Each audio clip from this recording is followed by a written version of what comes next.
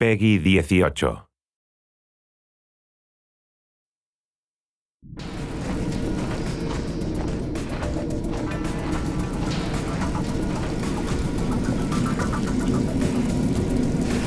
Hey, tough guy.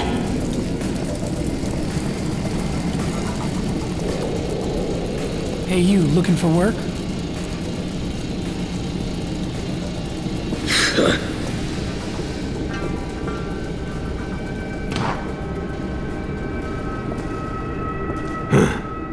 You did a decent job.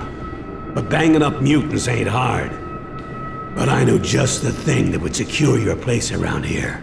Okay, so this is my town. But I still have to deal with the gearheads. Now, word on the street says they've combined Feltrite with plutonium. If they've done that, and we can get our hands on it, that would solve our power problems for a long time.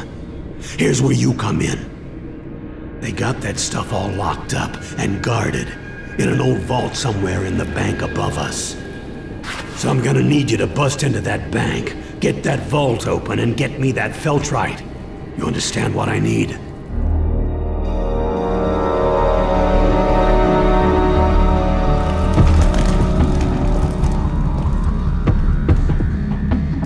Can you believe I used to be professional